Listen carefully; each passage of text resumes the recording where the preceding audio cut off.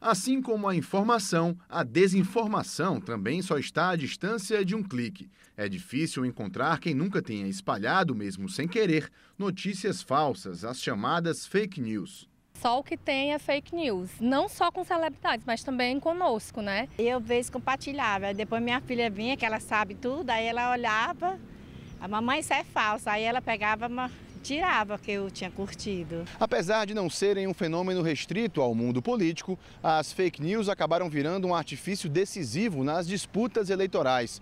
É o que mostra um dado que aponta queda de mais de 60% na divulgação de notícias falsas no ano passado, em comparação com 2018, ano eleitoral. O levantamento feito pelo Laboratório de Segurança Digital da AppSafe, empresa desenvolvedora de aplicativos, mostra que de janeiro a outubro de 2018 foram compartilhadas mais de 15 milhões e meio de notícias falsas por celular no país.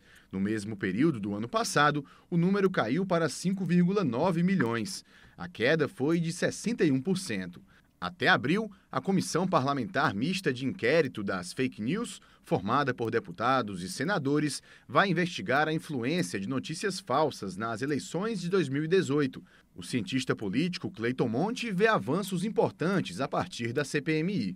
Ela demonstrou é, quão grave é o problema das fake news é, no Brasil ela descortinou uma série de interesses envolvendo esse, esse fenômeno.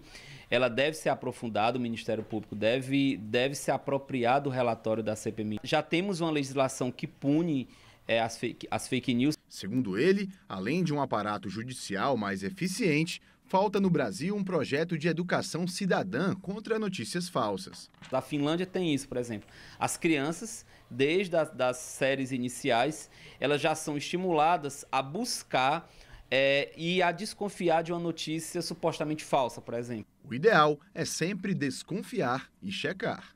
Eu busco sempre checar em sites, né? Em sites que eu acho que são confiáveis, sites de notícia e afins.